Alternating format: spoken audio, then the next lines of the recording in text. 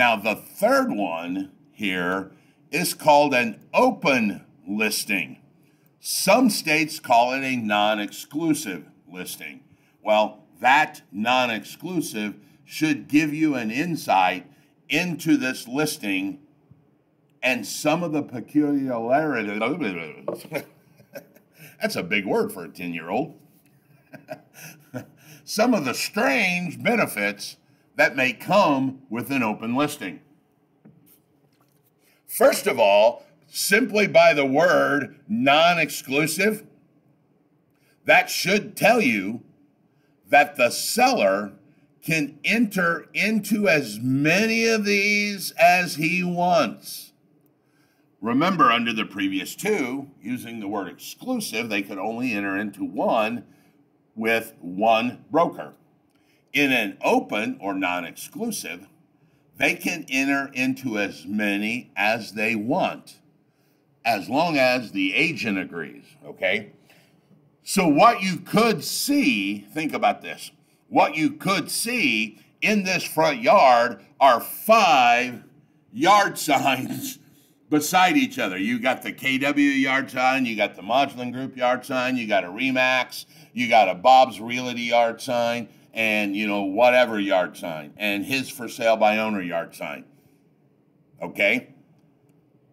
Here's the kicker in this. The buyer, or I'm sorry, I misspoke. The agent that brings the buyer also gets credit as the listing agent, and they end up getting dual agency. Sometimes you will hear dual agency called me, me deal because me, me. They get paid both sides of the commission. If it's done on a small house, it's called a mini me. All right? No, it's not. So listen and let's go back if you've got five yard signs and some buyer drives by, and for whatever reason, he remembers the phone number on one of those yard signs. Maybe it was an easy phone number to remember, like 865 9400. Or maybe it had a picture that he really liked, or the color scheme. I don't care. But whatever reason, he remembers and calls that broker and says, Hey, dude, I saw your sign in that yard. I want to go look at the house. And he ends up buying the house. That broker becomes the procuring cause for the listing side and the selling side because that's who the buyer called. The other four yard signs get zero. All right? They get zero. So while the seller may enter into as many as he wants, a lot of real estate agents will not enter into this agreement or won't take the listing, so to speak, because they know they could be in competition with one, two, five, 20 other brokers and end up doing a bunch of marketing work and not get the buyer. Therefore, they wouldn't get the listing either. So they end up with zero. So a lot of agents won't even enter into this. Matter of fact, we haven't got to the MLS yet, but as a matter of fact, brokers that are in the same MLS system typically can't do this because once one agent lists it on the MLS, the second broker would go to list it to do his portion, right? And he tries to put it in the MLS. The MLS system is going to say, sorry, that house is already listed. You can't enter it. So the only broker that got the information into the MLS system was the first one that did it first and beat everybody else. So not only is it not common to do, in most MLS areas, it's impossible to do because you can't list the same house multiple times in the MLS. They will not allow a duplicate listing of the same property. Now, I'm not going to tell you that you can't fudge around with your MLS system and make it seem like it's a different listing. Yes, there's all kinds of little tricks that we're not going to get into, but legally or technically, uh, you can't list the property. So you say, well, Raymond, why does this exist? It exists for a specific type of property or a property that is sufficiently unique enough that may warrant buyers from multiple regions to buy. All right. So follow my logic here. Typically, when you're living inside of, say, uh, Fort Collins, Colorado, or Nashville, Indiana, most buyers tend to be already in that neighborhood. Um, I'm saying most, so don't go, well, you're wrong because of, I get it, but most typically do. But what about a property that is sitting on Lake Monroe down on Bloomington, Indiana, that is a weekend cabin? Where do you think that buyer is actually sitting? Why? Indianapolis, maybe, right? What about Bloomington? What about Louisville, Kentucky for someone who wants to buy a cabin to go fishing on the weekend?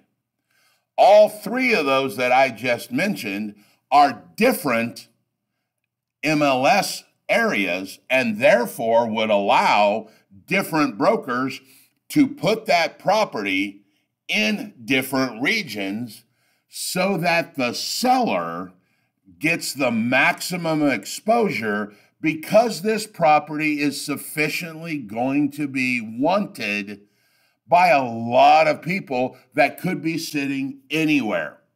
Um, Hilbert, when he sold his house on the north side of Indianapolis, sold for $25 million. How many buyers are in Indianapolis that could afford a $25 million house? One? Maybe a Colts player? But if you expanded that buyer group to include areas like Cincinnati or Louisville or Chicago or a buyer out of Fort Wayne, how do you reach them? Because your MLS doesn't go there. What that seller would do is contract with a buyer and say, Hey, Raymond, I want you to list the property in the Indianapolis MLS so those buyers can see it. And then they're going to call Kurt down in Louisville and go, hey, Kurt, I want you to list the property in the Kentucky and Jeffersonville, Indiana area so that those buyers could potentially see it. And then call Aaron down in Evansville and go, okay, I want you to list it in Evansville. That way, the seller is getting the maximum exposure for his property. That would be a good use case scenario of where open listing exists. All right. So that is an open listing. There's our, those are the three that we have. And remember, the protection for the buyer goes up. I'm sorry. I, I misspoke that. I was watching my mistake on the screen. The protection for the agent is increased the higher we go on this list. The most protective because I get paid no matter what on this one right here. I get paid no matter what, but there is one exception that's the seller. And I only get paid here if I'm the one that brings the buyer and I'm competing against a whole bunch of other listing agents. So think of that and remember that. Hint, hint, maybe a test question. Which one is the most protective? All right. Now, there's a couple other listings I want to talk about real quick that you could be using for the seller is this thing called a net listing. A net listing is potentially illegal unless there are a couple things that are done with this listing. So let me give you an example of what's going on or a scenario that may best explain this. There is an area inside of Indianapolis, Indiana called Broad Ripple. Broad Ripple is a yuppie, affluent area. I don't know how to describe it. That has a strong pull for people, and the prices on the houses are about one and a half times what they normally think they should be. So think about an area like that in whatever city you're sitting in, King Park in Fort Wayne, you know, uh, something down like uh, what is it, Indian Creek and and in uh, uh, Tampa Bay is an area like this. Um, so a little old lady buys a house 30 years ago in that little area. Now, 30 years later, she's going to sell the house, and some broker comes in that maybe is unscrupulous and says, "Oh, okay, so you paid 30,000 for it.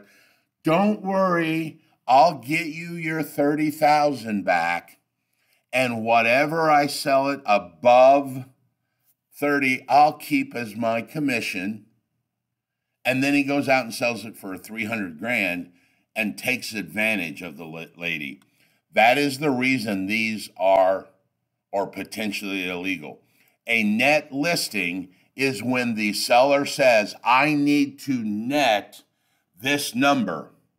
Anything over that number, you get to keep as your commission. And thinking about the scenario I just gave you, you could see how that an unscrupulous broker could take advantage of a client that is not well aware of the value of their home based on the current market.